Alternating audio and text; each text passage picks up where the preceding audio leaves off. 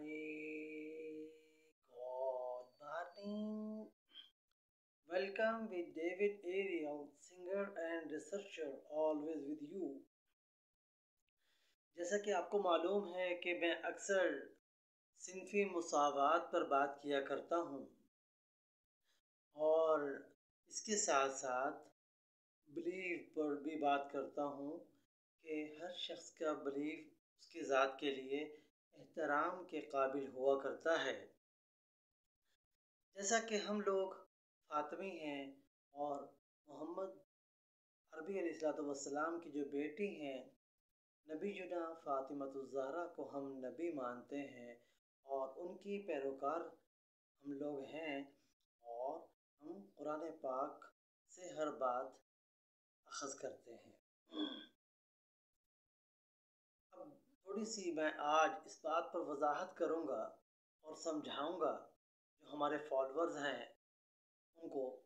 जैसा कि आपको मालूम है कि पूरी दुनिया में बहुत ज़्यादा फातमी अहल तशी हैं, जो नबी जुना फ़ातमतुज़हरा को सजदा मानते हैं नबी जुना फ़ातमतुज़हरा को अमीरुलमोमिनीन मानते हैं अमीरुलमोमिन अमीन अमीरुलमोमिनीन लज़कर व उनसा मानते हैं कि वो अमीरुलमोमिनीन हैं मर्द औरत के लिए। और इसी तरीके से हम लोग फ़ातिमी जो हैं, वो हम नबी मानते हैं लज़ाकर वंसा नबीना लज़ाकर वंसा नबीना फ़ातिमतुज़हरा लज़ाकर वंसा वबादहा सिलसिलतुलमुसलसल फ़ीहन्निसा नबियात। और याद रखिए कि जितने भी नबी आए हैं, जिन्होंने पॉजिटिव किया है और डिलीवर किया है चेंज लाए हैं, उनके लिए बहुत मुश्किल आई हैं, बहुत मसाइल पेश आए हैं। जैसे आप देखते हैं, मूसा प्रॉफिटहुड को अपना ख़ानदान छोड़ना पड़ा और जिसमें वो पले बड़े हुए और इस तरीके से ईसा प्रॉफिटहुड को अपना बहुत ज़्यादा तकालीफ से गुज़रना पड़ा। इस तरीके से नबीजुना फ़ातिमा जहरा को इतना ज़्यादा, अब हिस्ट्री में अगर हम देखते हैं देखते हैं तो हिस्ट्री तो बहुत ज़्यादा तकलीफ़ दे वाक़ात बताती है कि जी उनको, उनके ऊपर दरवाज़ा गिराया गया नबी जना फ़ातमतुज़हरा को ज़ख्मी किया गया। इसी तरीके से नबी जना जहरा को तकलीफ़ें देने की कोशिश की गई। हती के बाद में सहाबा ने उनका जनाजा भी नहीं पढ़ा उनका जनाजा भी आ, उनके जनाजे में शरीक नहीं हुए। और नबी जना फ़ातमतुज़हरा के बारे में जितना कुछ तकलीफ़ का आता है तो मौला कायनात सलाम के बारे में भी आता है कि सहाबा उनसे बात करना बंद कर देते।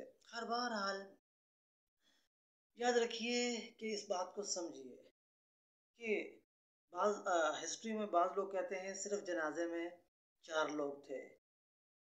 जिस जिसके बाप के फॉलोअर जिनकी जिसके बाप के खुतबा सुनने के लिए लाखों लोग मजमे में आते हों और उसके जनाजे में उसके उस, उसकी वारिस के जनाजे में सिर्फ़ चार लोग?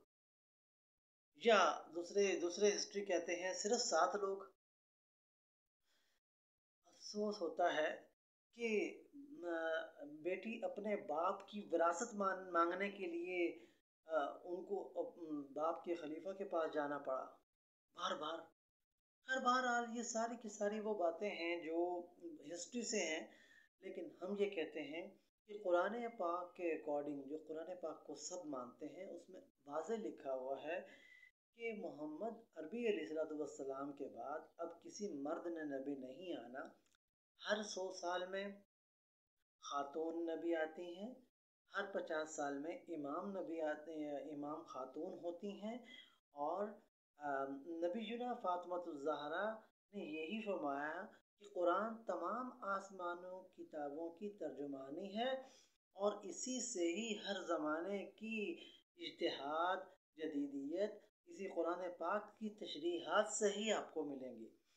तो इसलिए हम लोग वबादहा सिलसिलतुलमुसलसल फ़ीहन निसा नबियात, हम इस चीज़ पर ईमान और यकीन रखते हैं कि मोहम्मद अरबी सलाम की बेटी नबीना फ़ातमतुज़हरा नबी हैं और वो कुरान पाक की सही मानों में खादमा है और इमाम है और सब तमाम उम्मत के लिए राह नजात हैं।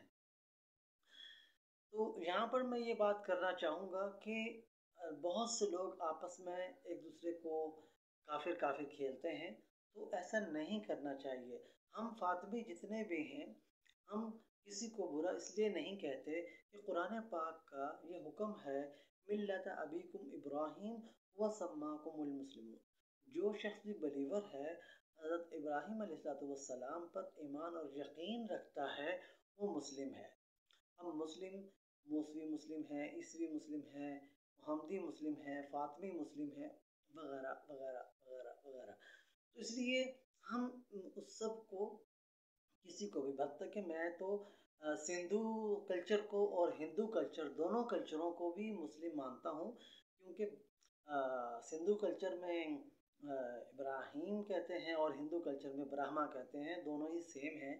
अब वो किस चीज़ में, किसकी तस्वीर में खुदा को तलाश कर रहे हैं? हर बहरहाल, मैं यहाँ पर सिर्फ़ इतना कहूँगा कि इस बात को बखूबी समझ लेना चाहिए कि जितने भी ख़ास तौर पर हमारे पचास हज़ार फातमी जो हैं बहुत ज़्यादा यहाँ पर पाकिस्तान में भी हैं आज़रबाईजान में भी हैं और दुनिया के मुख्तलि ममालिक में हैं और हर शहर में वोमन इमाम ख़ातून हैं। तो मैं जैसे कि देखें, वोमेन डोमिनेशन को कबूल करता हूँ, तस्लीम करता हूँ, मैं एक मर्द हूँ। मैं वोमेन डोमिनेशन को तस्लीम भी करता हूँ, कबूल भी करता हूँ।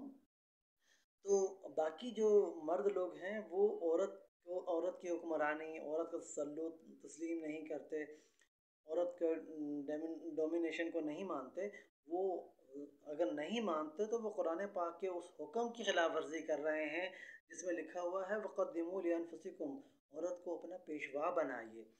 Be with David Ariel singer and researcher always with you.